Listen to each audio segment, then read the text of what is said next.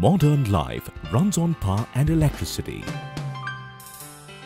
So we constantly seek out alternate ways of energy, wind, solar, atomic and others, which leads us to an interesting idea.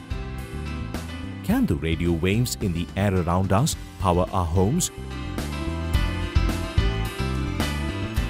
Here is a team of innovators from Purna Pragna Education Centre, Sadashiv Nagar, Bangalore, who believe that they can generate electricity from radio waves in the air around us to provide a simple, effective, alternate source of energy. A rectenna or rectifying antenna can convert microwave energy into DC electricity. We soldered 8 Schottky diodes in series and connected it to a rectifier.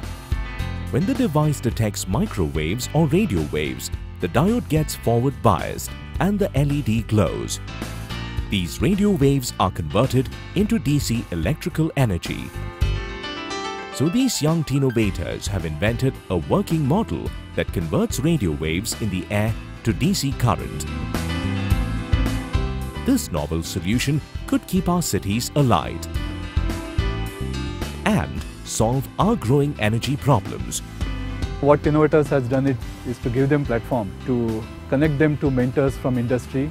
They are trying to harvest RF energy which is available in ambient especially from the mobile towers and uh, they are trying to use it to supply power to niche segments like Internet of Things.